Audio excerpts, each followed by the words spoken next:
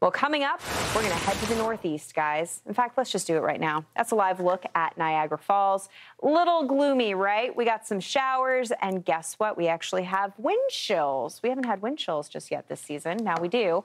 Uh, feel like temperature of 41. So the general weather feel in the Great Lakes, the Northeast today, a little grumbly. I will say the 95 corridor, we're going to have a little glimmer as we go into the afternoon because we'll actually be in the dry slot of this entire setup. So we have this power powerful pinwheel, this area of low pressure parked over the Great Lakes, and that trailed a band of pretty substantial rain over the 95 corridor while most of us were sleeping. Right now, it's still in coastal areas of New England, stretching from Rhode Island all the way up into Maine. Now, in between those two features is where we'll feature maybe some afternoon breaks of sunshine for the 95 corridor. But as of right now, this is a little bit of an unsettled start. We have leaves on the ground. We have wet pavement. Take it slow. Here's a look at the low, that upper level support over the Great Lakes. That's why you see that nice little pinwheel rotating counterclockwise.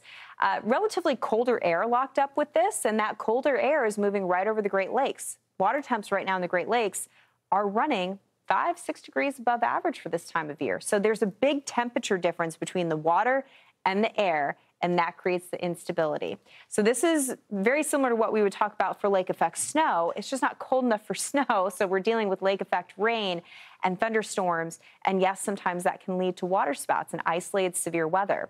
This morning, not seeing severe weather warnings. Good news to pass along, but we have had some rumbles of thunder over the Tug Hill Plateau and also off the shores of Lake Erie.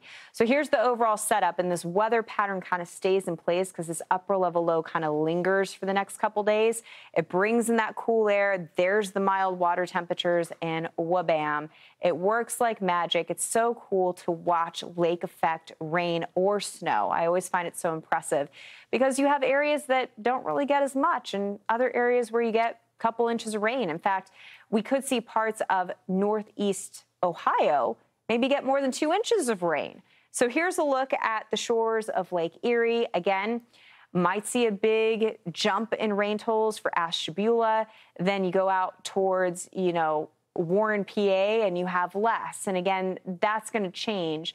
Lake effect weather very much ebbs and flows by the wind direction. Small change in that wind direction can make a huge difference in what you encounter. Now, I do want to call your attention to this, our exclusive Fox weather model. Notice that by Thursday and Friday, it almost looks like we have popcorn over the Great Lakes. That's the cold air really taking shape. So we'll see less folks impacted by rain maybe by Thursday evening, but the folks that do get the rain, it's going to be these quick bursts. It becomes very convective, like convective showers and thunder showers that are moving on through, and will keep the weather pattern unsettled through Friday morning. Here's a look at the Tug Hill Plateau and also moving down towards uh, northwest Pennsylvania. Good chance of rain. You can see the wind direction change, and of course, that changes the trajectory of these showers as they move in off of Lake Erie. Keep those umbrellas handy, folks. But got to be honest with the wind, might be better just to go with a raincoat. Well, still ahead, we're going to head back to our main story.